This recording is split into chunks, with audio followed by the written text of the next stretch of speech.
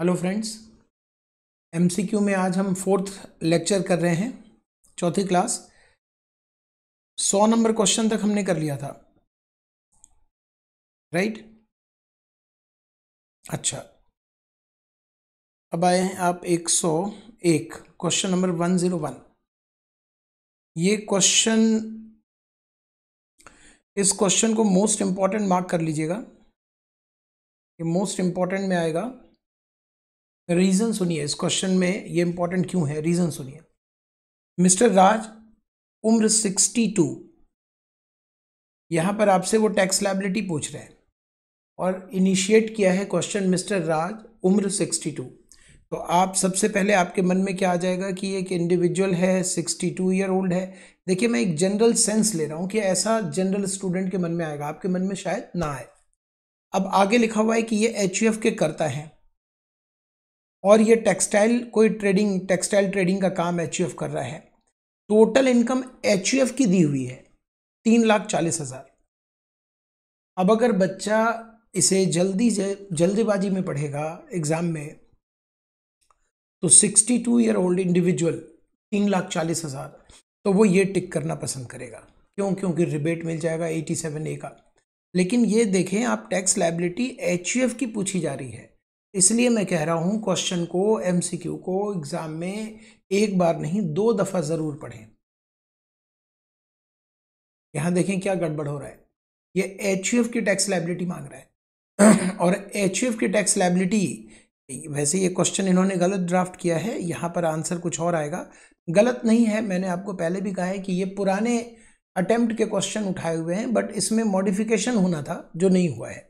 यहाँ पर एग्ज़ाम में जब आएगा तो वो आएगा फोर सिक्स एट ज़ीरो कोई सा भी ठीक कर सकते हैं। वैसे एग्ज़ाम में उन्होंने ये वाला ठीक किया होगा, ये वाला, जो भी टिक करना है फोर सिक्स एट ज़ीरो और ये आंसर अब मेरा ए सही हो जाएगा। रीज़न क्या है बेटा?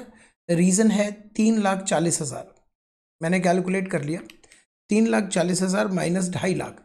बताइए sixty two year old individual की मैक्सिमम एग्जामेशन लिमिट है ढाई, तीन लाख।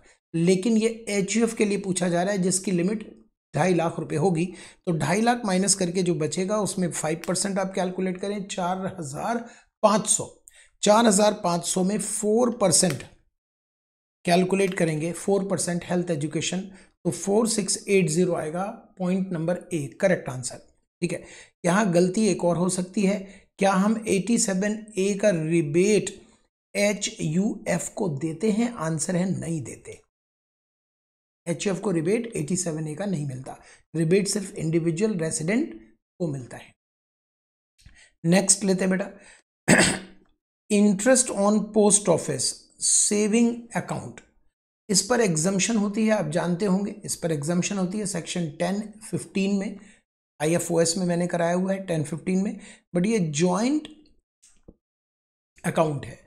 तो जॉइंट अकाउंट पे पंद्रह, पैंतीस सौ रुपये सिंगल सिंगल अगर आपने अकाउंट खुलवा रखा है तो थर्टी फाइव हंड्रेड। और अगर ज्वाइंट अकाउंट खुलवा रखा है पोस्ट ऑफ़िस सेविंग में तो सात हज़ार रुपये की छूट मिलती है। तो यहाँ पर आंसर आएगा सात हज़ार रुपये। एक सौ तीन नंबर क्वेश्चन। ये कहते हैं, ये आप आईटीआर वाले चैप्टर में जाओगे तो आईटीआर वाले चैप्टर से एमसीक्यू पूछा जाएगा। आईटीआर वाले में जब आप पेन पढ़ रहे हैं, one thirty nine A PAN PAN में आपने कुछ रूल भी पढ़े होंगे, जिसमें बताया गया है कि अगर कहाँ कहाँ किस किस ट्रांजैक्शन में पेन कोट करना मैंडेटरी है। उसमें लिखा हुआ है कि अगर आप सेविंग अकाउंट में पैसा जमा कराते हैं पचास हज़ार या उससे ज़्यादा तो आपको पेन कोड करना पड़ेगा। ये बहुत कॉमन है, आप सब भी जानते होंगे। ये क्वेश्चन पीछे से उठाया हुआ है तो एग्ज़ाम में जब ये वाला 104 नंबर क्वेश्चन आएगा तो वो 2019-20 करके आएगा आपके एग्ज़ाम में। कुछ भी हो, हम डिस्कशन कर सकते हैं। अगर 17-18 ही पूछा जा रहा है फाइनेंशियल ईयर 17-18 तो फाइनेंशियल ईयर 17-18 को आप क्या कंसिडर करोगे? फाइनेंशियल ईयर 17-18 को आप असेसमेंट ईयर ये क्वेश्चन इसको भी इंपॉर्टेंट मार्क करना, क्योंकि ये बहुत सिंपल तरीके से नहीं दिया हुआ। जरा देखना, क्या ये प्रीवियस ईयर है फॉर ए वाई सत्रह अठारह? नहीं ए वाई अट्ठारह उन्नीस अगर यहाँ होता तो यह आंसर सही होता। ये असेसमेंट ईयर है सत्रह अठारह फॉर पी वाई सत्रह अठारह, नहीं, ये भी गलत हो गया। पहला नंबर देखिए असेसमेंट ईयर फॉर सोलह सत्रह। ये तो बात समझ आ रही है। Assessment year for previous year सोलह सत्रह। भाई, सत्रह अठारह असेसमेंट ईयर है सोलह सत्रह के लिए। एंड प्रीवियस ईयर फॉर सत्रह अठारह। असेसमेंट ईयर सत्रह अठारह यहाँ देखिए previous year for A Y सत्रह अठारह, नहीं previous year for A Y अठारह उन्नीस। तो ये वाला आंसर आपका बी सही आ रहा है। ठीक। फॉर द पर्पस ऑफ़ 105 देखिएगा। For the purpose of levy tax on income other than agriculture income union list हमारा 82 नंबर है, ये आपको याद करके चलना पड़ेगा। 92 सी सर्विस टैक्स के लिए हुआ करता था, ये सब इग्नोर करें। आप इनकम टैक्स के लिए यूनियन लिस्ट है 82 ये आपको याद रखना चाहिए। एमसीक्यू में ये अब इंपॉर्टेंट बन जाता है। Following is not the head of income ये क्वेश्चन क्यों आया था? इसका मैं थोड़ा सा बैकग्राउंड आपको हिस्ट्री समझाता हूँ। ये क्वेश्चन इसलिए आया था क्योंकि एक ज़माने में ये वाला भी हेड हुआ करता था। जैसे अभी फाइव हेड्स आप पढ़ते हैं ना, वो एक ज़माने में ये भी एक हेड हुआ करता था। Income from interest on security but ऐसा कोई हेड हम अब नहीं जानते। हम तो फाइव हेड्स जानते हैं, उसमें ये नहीं आता। तो ये आपका करेक्ट आंसर बनेगा कि ये हेड में नहीं आता।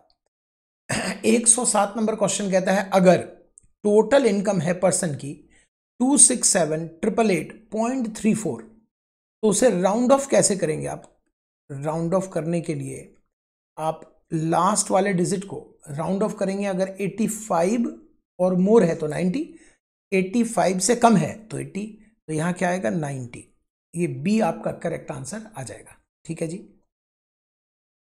अट्ठा एक सौ आठ नंबर, इनकम टैक्स क्या है? वो डायरेक्ट टैक्स है, ये भी करेक्ट कर लिया होगा आपने आपने तो कर भी रखा होगा question. H U F is set to be resident in India if control and management of its affair wholly और partly situated in India C हमारा सही है। Individual is set to be resident in India individual के लिए तो 182 days वाला भी है, और थ्री सिक्सटी फाइव और 60 डेज़ वाला भी है। लेकिन यहाँ पर आप देखें तो 60 डेज़ और 365 वाली बात नहीं लिखी गई है। 30 डेज़ लिखा गया है। वो तो नहीं चलेगा। पिता माता अगर रेजिडेंट होंगे इंडियन सिटीजन होंगे, वो भी गलत है। मकान इंडिया में होगा, ये भी गलत है। तो आप ये सब गलत चीज़ हटाएँगे तो एक ऑप्शन आपके पास बचेगा 182 डेज़ और मोर इंडियन सिटीजन अगर इंडिया छोड़कर जाता है, जॉब के लिए तो वो रेजिडेंट कब कहलाएगा? इंडियन सिटीजन जब इंडिया छोड़कर जॉब के लिए जाता है तो वो स्पेशल पर्सन बन जाता है, जिसके लिए सिर्फ़ 182 डेज़ सिर्फ़ 182 डेज़ का क्लॉज अप्लीकेबल होता है और करेक्ट आंसर आपका आएगा बी इंडिविजुअल ये भी इंपॉर्टेंट मार्क कीजिएगा अच्छा क्वेश्चन है। इंडिविजुअल फॉरेन सिटीजन है फॉरेन नेशनल है। वो इंडिया आ रहा है पहली दफ़ा। दोस्त, जब ये पहली दफ़ा आ रहा है तो आज तक बैक जो भी उसके प्रीवियस ईयर के बैक में होगा, वो ज़ीरो ज़ीरो ज़ीरो डेज़ होगा। During the year seventeen eighteen ये क्वेश्चन सत्रह अठारह के लिए है, कोई बात नहीं। सेवनटीन एटीन में ये आ रहा है, एक जनवरी अठारह। आप ज़रा बताइए, सत्रह अठारह का क्वेश्चन अगर ये है, जो कि आपके एग्ज़ाम में उन्नीस बीस बनेगा, सत्रह अठारह का क्वेश्चन है तो ये ये यहाँ आ रहा है। यहाँ आके वो 200 दिन रह रहा है, लेकिन मेरे भाई, हमारे रेलिवेंट प्रीवियस ईयर में तो वो जनवरी फेबररी और मार्च तीन महीने रहा। जनवरी का थर्टी फ़र्स्ट लगा लो। इकतीस फेबररी का ट्वेंटी एट और मार्च का इकतीस। तो अगर आप तीनों को जोड़ लें तो नब्बे दिन होता है। नब्बे दिन से तो ये रेजिडेंट नहीं बन पाएगा। तो आंसर है नॉन रेजिडेंट और ये पहली दफ़ा है, पहले की कोई डिटेल नहीं है। अगर पहले की डिटेल होती 365 भी मैच कर जाता तो ये फिर रेजिडेंट बन सकता था। ओके एक सौ तेरह। Following income of resident and ordinary resident is taxable in India बेटा ओआर के लिए ग्लोबल इनकम टैक्सेबल होती है। पहला वाला देखें टैक्सेबल होगी। दूसरा वाला देखें टैक्सेबल और तीसरा भी टैक्सेबल तो आंसर है all of above which of the following is agriculture income कौन सी एग्रीकल्चर इनकम है? जरा इसके मैं बैकग्राउंड में ले चलता हूँ। आपने अगर अटेम्प्ट किया होगा तो यहाँ आपका आंसर गलत आ गया होगा या आप कंफ्यूज हो गए होंगे कि ये क्या क्वेश्चन है। मैं समझाता हूँ इसका बैकग्राउंड दरअसल ये एक केस लॉ पर आधारित है और ये केस लॉ फाइनल में आना चाहिए। इन्होंने इसे इंटरमीडिएट के कोर्स में डाल दिया। डाल दिया इसलिए मैं डिस्कस कर रहा हूँ। वैसे ये डिस्कशन कहाँ होना चाहिए? फाइनल में। तो फाइनल में तो इसका डिस्कशन होता है। सुनना, कहानी समझना। आप जानते हो कि इंडिविजुअल के पास अगर एग्रीकल्चर इनकम है तो ये इनकम एग्जाम्ड तो होगा। लेकिन क्या ये जोड़ दिया जाता है टोटल इनकम में for enhancing slab rate do you know about that yes आप जानते हैं कि एग्रीकल्चर इनकम एग्ज़ाम होते हुए भी टोटल इनकम में शामिल किया जाता है for enhancement of slab rate इसे कहते हैं इंटीग्रेशन इंटीग्रेशन के कंसेप्ट को इंटीग्रेशन के कंसेप्ट को तोड़ने के लिए नलीफाई करने के लिए दो लोग मिल गए। दोनों के पास ह्यूज एग्रीकल्चर इनकम था, जो इस इनकी टोटल इनकम में अगर जुड़ जाए तो इनका स्लैब रेट थर्टी परसेंट आ रहा था इनहेंस हो रहा था। ये दोनों व्यक्तियों ने जोड़कर अपने आप को एक पार्टनरशिप फॉर्म बना लिया। ये कहानी है बहुत पुरानी। पार्टनरशिप फॉर्म बना लिया। और अपने एग्रीकल्चर एक्टिविटी को डाइवर्ट कर दिया पार्टनरशिप फॉर्म में। इसका मतलब यह हुआ कि पार्टनरशिप फॉर्म एग्रीकल्चर एक्टिविटी करने लगी। इन दोनों के खेत एज ए कैपिटल इन्होंने इंट्रोड्यूस कर दिया और अपनी पूरी एग्रीकल्चर एक्टिविटी जो पहले कर रहे थे वैसे ही करते रहे बट अब वो ऑन पेपर पार्टनरशिप फॉर्म कर रहा है। और जो भी लाभ होता था, ये पार्टनरशिप फॉर्म से इसके हिस्सा, इसका शेयर ये ले लेते थे। लाभ का हिस्सा ले लेते थे शेयर ले लेते थे। अब क्या हुआ कि ये जो शेयर ये ले रहे हैं, ये एग्ज़ाम फ्रॉम टैक्स है। ज़रा सोचिए एग्रीकल्चर इनकम टेन वन में एग्ज़ाम है। जानते हैं आप? और share of profit from partnership firm by partner is exempt under section ten two A वो टेन टू ए में एग्ज़ाम है। कहने का मतलब पहले इनके पास एग्रीकल्चर इनकम डायरेक्ट इनके हाथ में आ रहा था, वो टेन वन में एग्ज़ाम है। अब यही एग्रीकल्चर एक्टिविटी पार्टनरशिप फॉर्म कर रहा है। और फॉर्म से फिर अब इनको हिस्सा मिल रहा है, वो भी एग्ज़ाम टेन टू ए में। फ़र्क क्या हुआ? इंटीग्रेशन का। अब इंटीग्रेशन इनका नहीं हो रहा। जब ऐसी परिस्थिति को इनकम टैक्स ऑफिसर ने देखा तो उसने कहा कि मामला गड़बड़ है और ये लड़ाई झगड़ा कोर्ट तक पहुँचा। कोर्ट ने कहा, सुनिएगा आप कोर्ट की बात, इन्होंने क्वेश्चन ठीक से नहीं बनाया है। अगर ये क्वेश्चन और ठीक से बनता तो इसमें एक पॉइंट और जोड़ना चाहिए था। वो मैं जोड़ के बताता हूँ। कोर्ट ने कहा कि अगर ये पार्टनरशिप फॉर्म होल्ली और सब्सटैंशियली एग्रीकल्चर एक्टिविटी में इंगेज है मतलब पार्टनरशिप फॉर्म का काम ही सिर्फ़ एग्रीकल्चर का है मेनली तो ये माना जाएगा कि ये फर्म फर्म नहीं बल्कि इन दोनों ने अपने स्लैब रेट इन्हेंसमेंट को रोकने के लिए बनाया है। और ऐसे में अब ये जो इनको यहाँ से हिस्सा मिल रहा है share of profit in partnership firm that will be deemed as agriculture income ये याद रहे, सिर्फ़ फर्म के केस में है। जजमेंट सिर्फ़ फर्म के लिए आया है। अगर ये कंपनी बनाकर करेंगे तो ऐसा कुछ नहीं हो सकता, क्योंकि कंपनी और शेयर होल्डर अलग अलग अस्तित्व रखते हैं, ये आप भी जानते हो। इसलिए अगर ये कंपनी बनाकर करेंगे तो ऐसा नहीं होगा। ये तब हो रहा है जब पार्टनरशिप फॉर्म बन रहा है। तो इसलिए अब चूँकि ये डिस्कशन कर लिया हम लोगों ने, इसलिए अब याद रखिएगा कि पार्टनरशिप फॉर्म अगर मेनली एग्रीकल्चर में इंगेज है तो जो शेयर ऑफ़ प्रॉफिट मिलेगा पार्टनर को, वो एग्रीकल्चर माना जाएगा। अब अगर आगे क्वेश्चन ऐसा आ जाए कि फर्म टी रबड़ और कॉफ़ी के ग्रोइंग एंड मैन्युफैक्चरिंग में इंगेज है। तो जिस तरह से आप साठ चालीस करते थे, वो अब साठ चालीस इंडिविजुअल जो पार्टनर है, उनके हाथ में होगा, जो शेयर ऑफ़ प्रॉफिट मिल रहा है, क्योंकि share of profit will be deemed as agriculture income ठीक है? कभी हुआ, हो सकता है, ज़रूरत आ सकती है। तो यहाँ पर पॉइंट नंबर बी आपको बहुत परेशान कर रहा होगा, ये क्वेश्चन मैंने तो कहा था ना कि भाई मैं करा रहा हूँ, लेकिन आगे आपको खुद भी अटेम्प्ट करना है। आपने किया भी होगा तो यहाँ आप फंसे होंगे, मुझे लगता है। अच्छा एक बात और अभी डिस्कस कर देता हूँ, मैं देखता हूँ मैं कितना कर पाता हूँ, डेढ़ सौ तक तो करा ही दूँगा। इसके आगे ये क्वेश्चंस आप करें खुद से। कोई भी क्वेश्चन अगर आपको लगता है कि आंसर टैली नहीं हो रहा और आपके हिसाब से कुछ और आंसर आना चाहिए, वो आंसर इसके अंदर है लेकिन टैली नहीं हो रहा या इसके अंदर नहीं है तो आप मेरे, मेरा जो नंबर है नाइन एट वाला नाइन एट डबल वन वाला जो नंबर है, उस पर व्हाट्सअप कर दीजिएगा कि, सर, ये क्वेश्चन है। इसका आंसर हमारे लिए डाउटफुल है। मैं आपको व्हाट्सअप पे अपना नाम, अपने, अपना शहर थोड़ा सा ब्रीफिंग कर दीजिएगा अपने बारे में। नाम और शहर काफ़ी रहेगा और आप मुझे व्हाट्सअप कर देंगे तो ये व्हाट्सअप ऑफिशियल व्हाट्सअप है।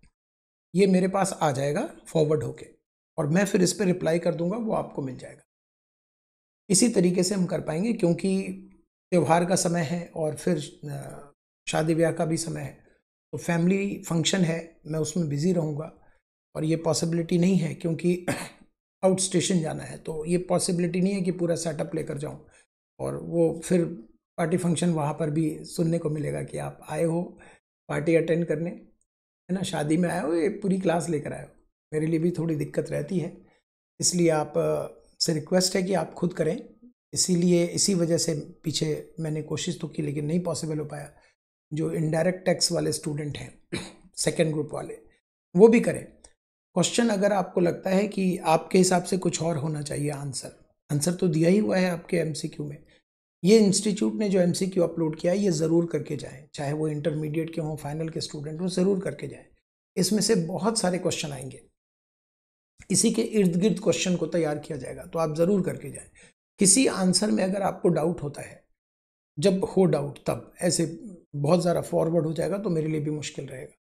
तो डाउट होता है तो आप इस नंबर पे व्हाट्सअप करेंगे। व्हाट्सअप करेंगे तो बात बन जाएगी। व्हाट्सअप करेंगे तो आसानी से मैं रिप्लाई कर सकता हूँ इस पर ये है तो ऑफिशियल दोनों ही नंबर ऑफिशियल हैं। नाइन थ्री वाला भी ऑफिशियल ही नंबर है। पर्सनल में रखता ही नहीं। लेकिन ये फॉरवर्ड होकर मेरे पास आ जाता है। कि सर ये डाउट है, मैं बोल कर रखूँगा कि डाउट जो भी आएगा इस तरह से एमसीक्यू से रिलेटेड वो फॉरवर्ड कर दे मुझे। तो ये मेरे पास जब एमसीक्यू के डाउट फॉरवर्ड होंगे तो मैं रिप्लाई कर दूँगा और आप तक वो आंसर पहुँच जाएगा। कोशिश करूँगा कि रिप्लाई हो जाए। ठीक है? तो आज जितना हो सकता है, उसके बाद आप सबको बहुत बहुत शुभकामनाएँ। आप अच्छा करें, बढ़िया से रिज़ल्ट लेकर आए। चलिए, हम आगे बढ़ें कंटिन्यू करें।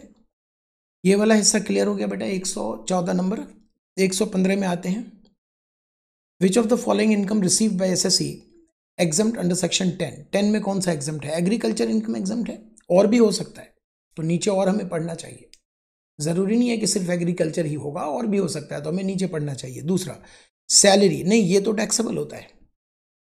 तीसरा सैलरी ये भी टैक्सेबल होता है। ऑल नहीं तो फिर एक ही आंसर बचा हमारे लिए रेलिवेंट एग्रीकल्चर इनकम यही आंसर सही है। Case of individual H of agriculture income is exempted correct second exempted but included in total income for tax purpose तो बी पॉइंट हमारा सही रहेगा। In case of S S C engage in business of manufacturing tea बहुत अच्छा question है। इसे important mark करिए, ये नज़रों का धोखा है। एमसीक्यू जहाँ भी आपको लगे नज़रों का धोखा हो सकता है, वो बड़ा मार्क करके चलना इंपॉर्टेंट उसकी संभावना होगी आने की। ये नज़रों का धोखा है। क्यों? क्योंकि ये सिर्फ़ मैन्युफैक्चरिंग टी कर रहे हैं। और तुमसे वो पूछ रहे हैं एग्रीकल्चर इनकम कितनी है? अगर वो पूछते टैक्सेबल इनकम कितनी है? तो हंड्रेड परसेंट होता।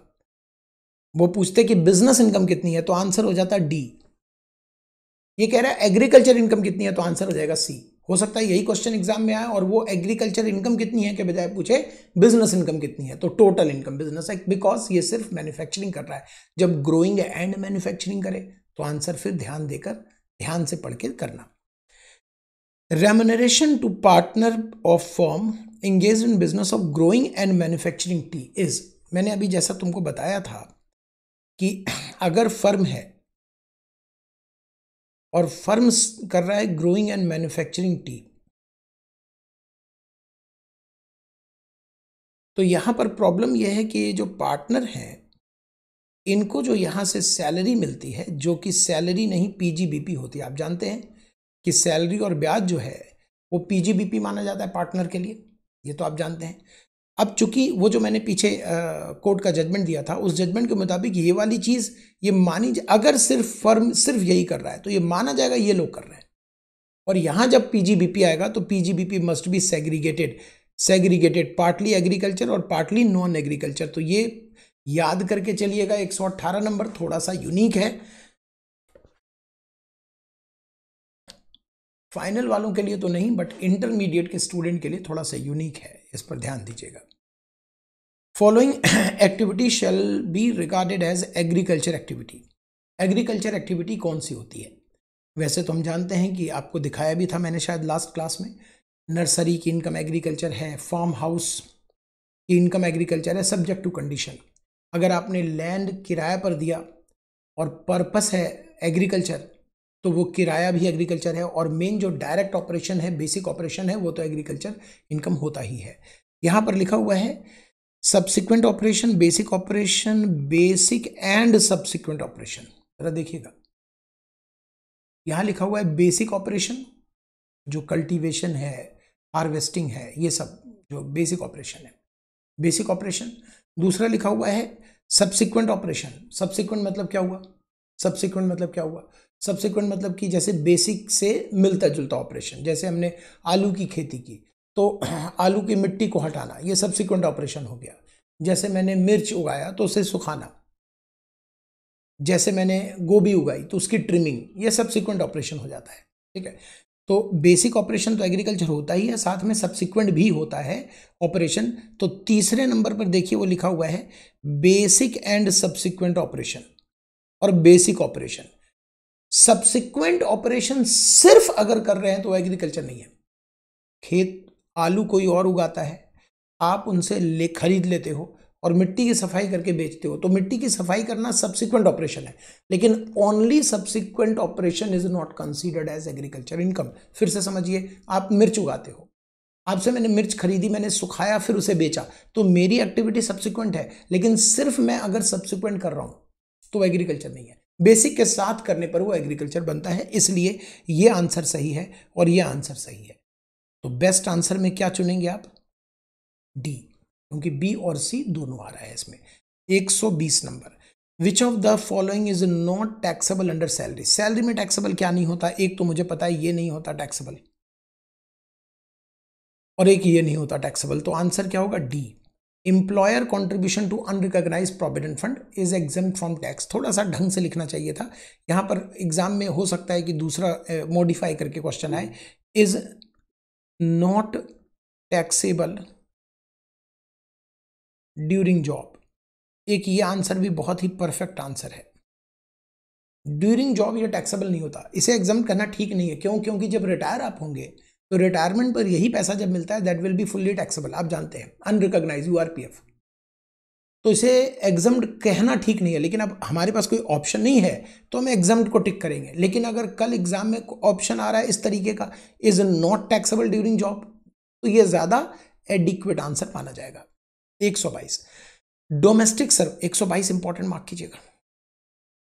Domestic servant engaged by employer and salary is paid by employer is perquisites agree agree is perquisites but perquisites for only specified employ and that is good answer अगर exam में यही question आएगा by employer के जगह, काटता नहीं हूँ मैं, रुक जाओ। एरो लगा देता हूँ, यहाँ पर ऐसे आ सकता है by employ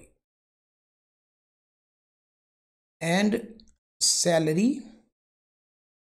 is paid by employer या by employ and reimburse by employer तो ऐसे में जो आंसर सही होगा, वो ए सही होगा।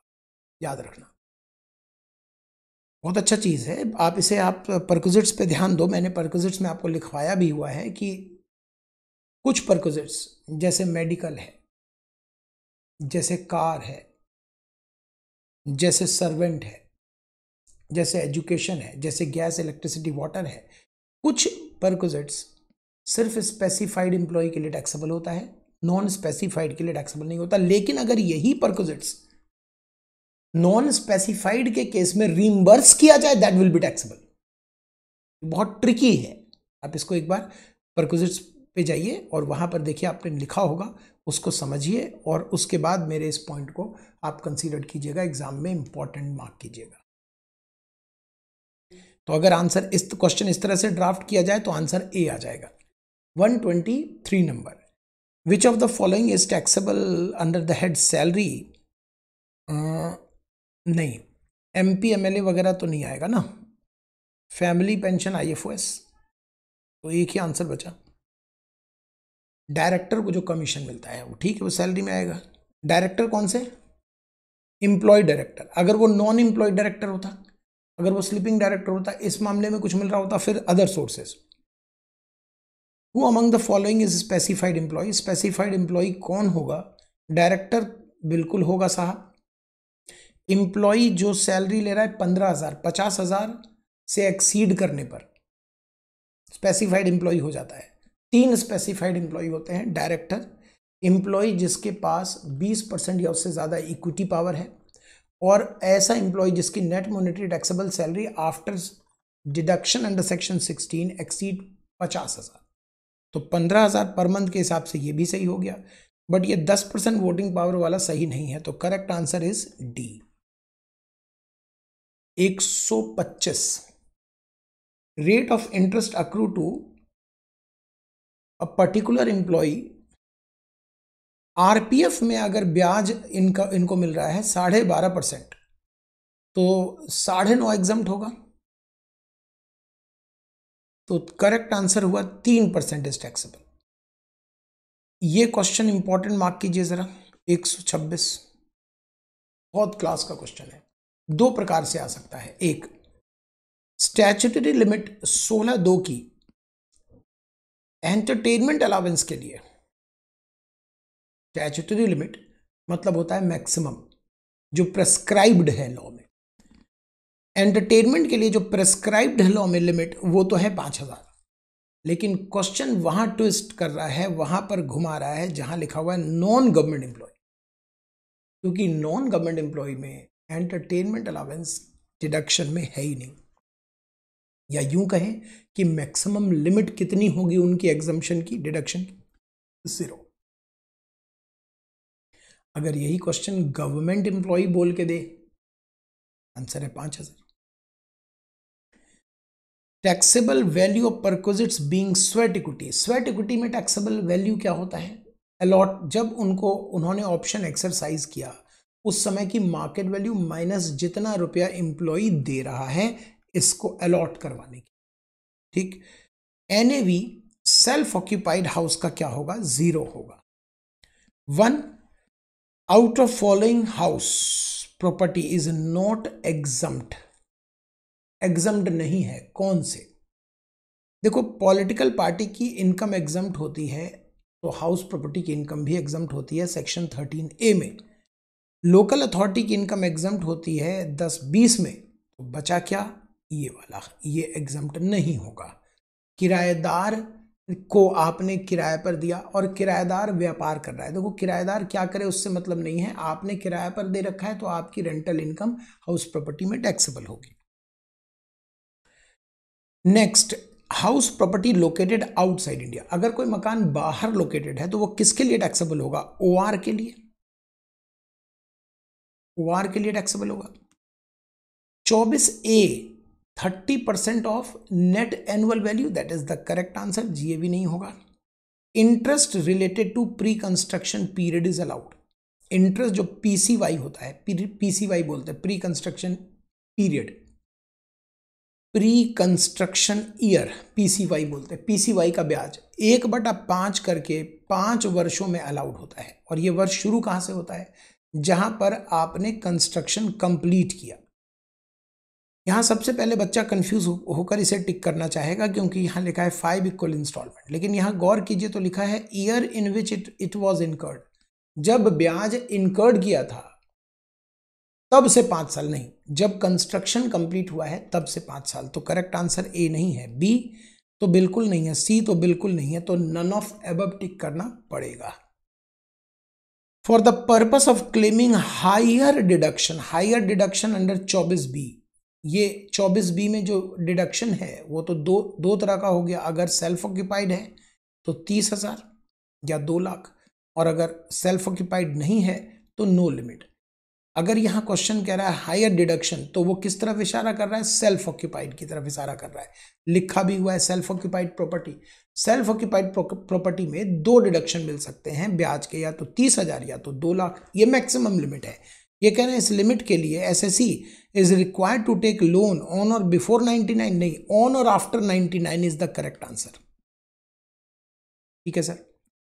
सब लेटिंग हाउस की इनकम कहाँ टैक्सेबल होगी? हर कोई जानता है आई एफ़ ओ एस में टैक्सेबल होगी तो बी टिक करके आगे बढ़ते हैं। चौबीस ए नहीं मिलेगा, अगर एन ए वी ज़ीरो है correct N A V zero है तो ये आंसर सही है, लेकिन सी को ज़रा देखिए, लिखा है ज़ीरो निगेटिव दोनों केस में। ये ज़्यादा सही होगा। Which of the following deduction is not allowed in case of deemed to be let out house deemed to be let out में कौन सा डिडक्शन नहीं मिलता? वैकेंसी का तो नहीं मिलता। रिपेयर का नहीं मिलता। देखिए स्टैंडर्ड डिडक्शन रिपेयर के लिए मिलता है बट रिपेयर का नहीं मिलता। स्टैंडर्ड डिडक्शन में रिपेयर है कलेक्शन चार्जेस है, बहुत सारे चार्जेस होते हैं तो यू कांट से कि it is for repair only तो ये भी नहीं है। न्यू कंस्ट्रक्शन अलावेंस ऐसा कोई अलावेंस हमने सुना भी नहीं है, कुछ भी नाम दे रहे हैं ये तो करेक्ट आंसर हो जाएगा हमारा which of the following is not allows as deduction for computing business income business income में कौन सा डिडक्शन नहीं मिलेगा? अब देखिएगा 137 नंबर क्वेश्चन ज़रूर एग्ज़ाम में आएगा और वहाँ पर वो बहुत सारे पॉइंट्स दे सकते हैं। पीजीबीपी को बहुत अच्छे से पढ़ के जाइएगा। पीजीबीपी में बहुत सारे क्वेश्चन एमसीक्यू बनने के चांसेस हैं और वो देंगे भी। पीजीबीपी मेन कोर एरिया है तो वो ज़रूर देंगे आपको। ठीक है? क्या लिखा हुआ है? लॉस इनकर्ड ड्यू टू चोरी हो गई। चोरी हो गई, उसके वजह से लॉस इनकर्ड हो गया तो ये तो डिडक्शन अलाउड होता है। ये क्या है? एंटिसिपेटेड फ्यूचर लॉस ऐसा तो कुछ नहीं होता not allowed loss cause by white ant समझते हैं क्या होता है? दीमक दीमक लग जाने की वजह से। तो ठीक है, ये भी अलाउड होता है। और लॉस हो गया है एक्सीडेंटल फायर ये भी अलाउड होता है। तो नॉट अलाउड कौन सा हुआ बी प्रीलिमिनरी एक्सपेंडिचर पे ज़रूर क्वेश्चन बनेगा। मैं पीजीबीपी पे कह रहा हूँ, ज़रूर बनेगा और मैं अब कह रहा हूँ प्रीलिमिनरी पर ज़रूर बनेगा क्वेश्चन तो दो नंबर तो पक्के करके जाइएगा। दो क्वेश्चन ज़रूर बना सकते हैं वो प्रीलिमिनरी एक्सपेंडिचर क्योंकि वहाँ स्कोप है। रीज़न समझाता हूँ। प्रीलिमिनरी एक्सपेंडिचर सिर्फ़ रेजिडेंट को अलाउड होता है। नॉन रेजिडेंट को अलाउड नहीं होता। फॉरेन कंपनी को अलाउड नहीं होता। और भी पॉइंट्स हैं, उसको ज़रूर देखिएगा। यहाँ क्या है वो देखते हैं। हर बिज़नेस में प्रीलिमिनरी अलाउड है व्हाट आर द एक्सपेंडिचर कौन कौन से खर्चे हो सकते हैं? ये वाले खर्चे होते हैं, ठीक है। ये भी होते हैं, ये भी तो आंसर है D expenditure incurred by company for the purpose of promoting ये भी ज़रूर आएगा इंपॉर्टेंट क्योंकि फैमिली प्लानिंग प्रमोशन के खर्चे में क्या ध्यान रखना होता है, वो सिर्फ़ कंपनी को अलाउड है। यहाँ ये क्वेश्चन क्या पूछ रहे हैं, वो मैंने अभी नहीं पढ़ा, सिर्फ़ कंपनी को अलाउड है। और रेवेन्यू खर्चे हर पूरा अलाउड होता है कैपिटल खर्चा पाँच भाग में अलाउ होता है। यहाँ पर क्या पूछ रहे हैं? कैपिटल खर्चा कंपनी ने किया है। एक बटा पाँच अलाउ कर दो। ठीक है? Expenditure on family planning promoting expense allowed होता है सिर्फ़ कंपनी को correct thirty five A D thirty five A D V I P business specified business इनमें से कौन सा है? इनमें से कोल्ड चेन वाला है? पावर नहीं है कोल्ड चेन है। A is correct answer thirty five eight ये क्वेश्चन काट दीजिएगा। क्यों ये काट दीजिएगा? क्योंकि ये क्वेश्चन डेट के हिसाब से आया है। स्पेसिफाइड बिज़नेस जो है ना, उसमें बाद में, पहले शुरुआत में उन्होंने कम रखे थे बिज़नेस को। बाद में कुछ बिज़नेस जोड़ते चले गए। तो जब जब वो बिज़नेस जोड़ते हैं तो वो डेट डाल देते हैं। इस दिन के बाद अगर बिज़नेस किया तो। तो इसका करेक्ट आंसर तो मैं आपको बताकर चलता हूँ।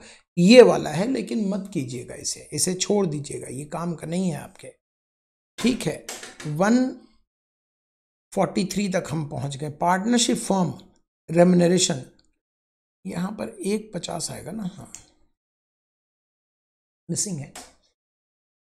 पार्टनरशिप फर्म में claim deduction in respect of remuneration to the extent अच्छा लॉस वाह, ये क्वेश्चन भी इंपॉर्टेंट मार्क कर ही लो तुम। ये भी इंपॉर्टेंट मार्क कर ही लो। क्यों? क्यों सर क्योंकि लॉस के केस में पार्टनरशिप फर्म को कितना अलाउड होगा रेमिनरेशन डेढ़ लाख रुपए। अब यहाँ पर डेढ़ लाख रुपए दिया हुआ है। बच्चा तुरंत इनिशिएटिव लेगा, डेढ़ लाख टिक कर देगा। अब ये बताइए, अगर एक्चुअल रेमुनरेशन में कम पे कर रहा हूँ, देखो, ये जो तुम डेढ़ लाख बोल रहे हो ना, वो फोर्टी बी से बोल रहे हो। और फोर्टी बी बताता है मैक्सिमम लिमिट वो ये नहीं कहता इतना अलाउड होगा। एक्चुअल में जितना आप दे रहे हो एज पर डीड अगर वो डेढ़ से भी कम है फिर, इसलिए करेक्ट आंसर होगा B block of assets is required to be increased by amount which is actual cost of assets being covered by ये क्या कह रहा है? ये कह रहा है इंपॉर्टेंट क्वेश्चन है ये। ये कह रहा है, अगर आप स्पेसिफाइड बिज़नेस में कोई एसेट्स खरीदते हो, और उस एसेट्स को बाद में ब्लॉक में लेके जाते हो तो ब्लॉक में उसकी एक्चुअल कॉस्ट क्या ली जाती है? ज़ीरो ली जाती है और क्या ली जाती है? इसी क्वेश्चन को एग्जामिनर और मॉडिफाई करके देगा। वो देगा कि अगर within eight year VIP business के एसेट्स नॉर्मल बिज़नेस में लेकर आए तो क्या होगा? आंसर है डब्ल्यू इसकी एक्चुअल कॉस्ट बनती है।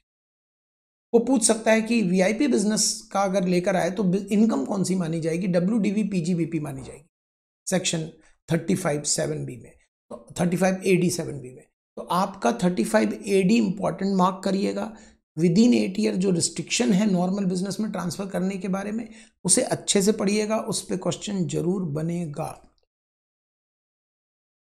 पच्चीस हज़ार का कैश पेमेंट किया है रोड ट्रांसपोर्टर को तो क्या करेंगे आप? कुछ मत कीजिएगा, पूरा अलाउड है, लेकिन क्वेश्चन ठीक से पढ़िएगा। यहाँ कह रहा है डिसअलाउड कितना आंसर है ज़ीरो क्वेश्चन कहता है अलाउड कितना है? तो आंसर है पच्चीस हज़ार। अगर वो पच्चीस के जगह चालीस हज़ार कैश दे देता और क्वेश्चन पूछता अलाउड कितना है? तो आंसर था ज़ीरो अगर क्वेश्चन कह रहे डिसअलाउड कितना है? चालीस हज़ार रुपए दे दिया तो आंसर था पूरा चालीस हज़ार. तो यही चार तरह से पूछे जा सकते हैं. सेक्शन 54 हाउस प्रॉपर्टी का है. उसमें कितना पुराना हाउस प्रॉपर्टी होना चाहिए? 24 महीने या उससे ज़्यादा. तो डी आंसर होना चाहिए. क्यों? 24 महीने या उससे ज़्यादा, यही है ना? स्लम सेल का capital gain always short term होता है। नहीं साहब स्लम सेल मतलब होता है जब अंडरटेकिंग बिक जाए, और अंडरटेकिंग जितना पुराना, उस हिसाब से हम देखते हैं, छत्तीस महीने का टाइम पीरियड देखना होता है। तो depend on the period of holding of capital is being undertaking that is the correct answer computing capital gain on a sale of immovable property, full value of consideration shall be actual consideration actual consideration less cost of transfer, actual consideration और stamp duty value, whichever is higher. देखिए, ये इस तरह से नहीं आएगा। Answer तो वैसे ये सही है बट इस तरह से नहीं आएगा। क्वेश्चन क्योंकि अब हमारे पास वेरिएशन आ गया है। फाइव परसेंट का वेरिएशन आपके एग्ज़ाम के लिए है। अगले साल टेन परसेंट का वेरिएशन आ गया और अब जो फाइनेंस मिनिस्टर साहिबा हैं, उन्होंने इसे और अभी इंक्रीज करने की बात की है। तो आपके एग्ज़ाम के लिए फाइव परसेंट बनेगा एक सौ पाँच परसेंट वाला वेरिएशन तो उस हिसाब से क्वेश्चन दिमाग में फ्रेम कीजिएगा। वैसे तो अभी ये सही है बट ज़रूरी नहीं है विच एवर इज़ हायर क्योंकि डिफरेंस फाइव परसेंट का होगा तभी हायर होगा। तो क्वेश्चन वैसे ही बनेगा कि if sale if stamp duty value exceeds 105 percent of actual sale consideration then stamp duty will, uh, value will be taken as uh, full value of consideration cost of acquisition of capital asset being immovable property acquired through gift under, देखो, ये बहुत अच्छा question है important ये 49 one और 49 four ये दो question है। मैं बच्चों को पढ़ाता हूँ, आपको याद होगा, आप लोगों को पढ़ाया अगर मैंने तो कि रोने के लिए चार कंधे चाहिए और बंदा खुश तो अकेले भी रह लेता है। अगर आपको गिफ्ट मिला और आप पिट गए तो आपकी शक्ल कैसी होगी? ऐसी। तो आपके लिए एक्चुअल कॉस्ट इस सेक्शन से आएगा। दुखी हैं आप। चार लोगों की ज़रूरत है। चार दोस्त तो चाहिए दुख बांटने के लिए। और अगर आपको गिफ्ट मिला और आप स्माइल कर रहे हैं, इसका मतलब रिलेटिव रिलेटिव से गिफ्ट लिया होगा या शादी पे गिफ्ट लिया होगा, है ना? तो आप स्माइल कर रहे हैं। तो आपकी एक्चुअल कॉस्ट यहाँ से काउंट होती है। अगर आप स्माइल कर रहे हैं तो cost to the previous owner period of holding भी प्रीवियस ओनर से लेते हैं। और अगर आपकी पिटाई हो गई है मतलब जिसने भी गिफ्ट लिया उसकी पिटाई हो गई है तो जितने रुपए से पिटाई हुई है, अब यहाँ पर इमूवेबल प्रॉपर्टी की चर्चा है तो पिटाई एसडीवी से होती है तो SDV will be taken as actual cost in the hand of receiver recipient of gift while computing capital gain on future sale 150 question को मॉडिफाई करना पड़ेगा, क्योंकि ये अब एग्जाम्प्ट नहीं रहा, ये पुराना ड्रॉ किया हुआ इसलिए आ रहा है। ऐसा आएगा is taxable at the rate ten percent in excess of एक लाख अंडर सेक्शन 112 ए तो ये इंपॉर्टेंट रखिएगा इसको।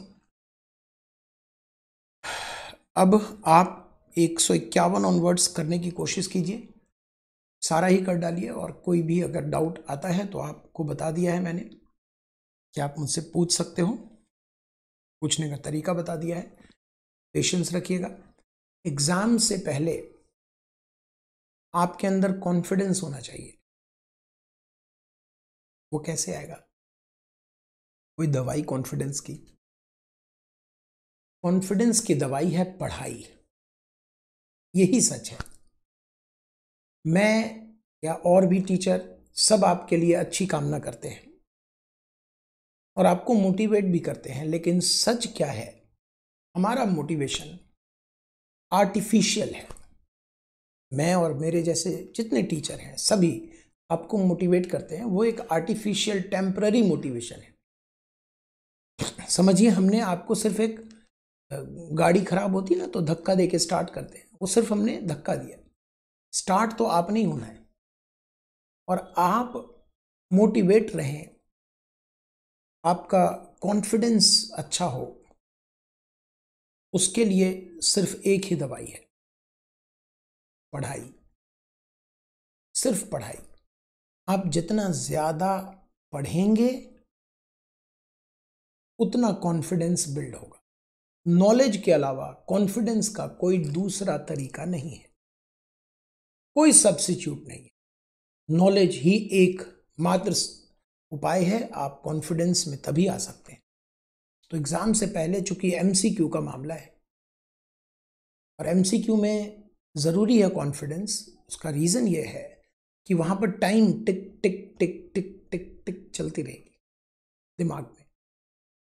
जब आप कोई सब्जेक्टिव बड़ा क्वेश्चन उठाते हो डिस्क्रिप्टिव क्वेश्चन उठाते हो न्यूमेरिकल उठाते हो, आपको पता होता है कि हमें 10-15 मिनट में ये करना है क्वेश्चन तो आपके पास समय होता है।